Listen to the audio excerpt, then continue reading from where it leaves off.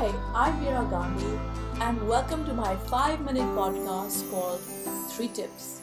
In this short podcast, I share three tips on all matters of life and just about every topic or situation imaginable.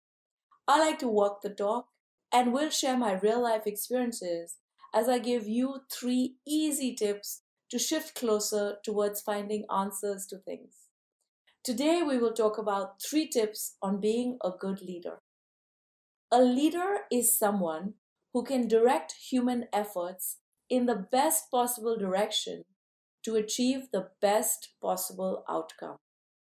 A leader looks at the pros and cons of a situation as well as different ways of accomplishing goals and should effectively communicate these to the team.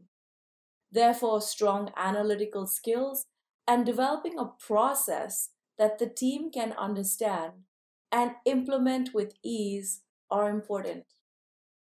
As a leader, it's good not to ask anyone to do anything you would not do yourself.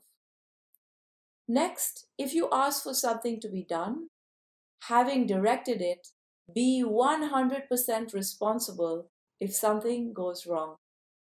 It is also important to compensate everyone fairly and reward them by telling the team or the person what they did right, along with monetary or accolade compensation.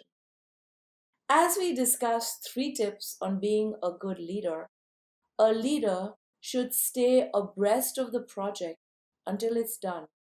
Because as a leader, there might be challenges that need answers that only you can provide. Above all, when you select people to work for you, trust them. When I think of leadership in my own life, actually, my thoughts go back to my earlier experiences of leadership on student councils.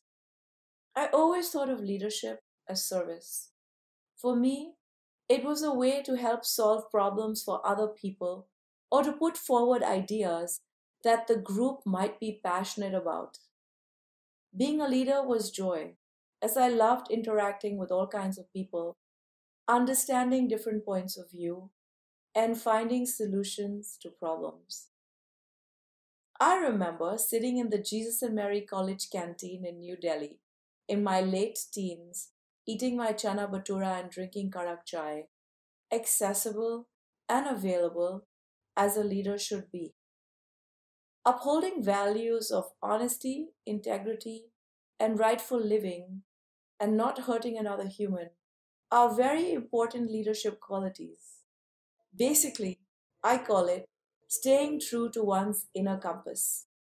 So, in conclusion, my three tips on being a good leader are the first, be compassionate.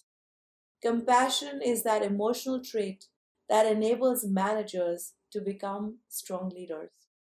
The second, deliver on your promises. Never disappoint those who work under you. The third, of course, lead by example. Encourage cooperation, giving back, and love in your team. Here's to you being the best leader you can. Until next time, this is Meera Gandhi and three tips.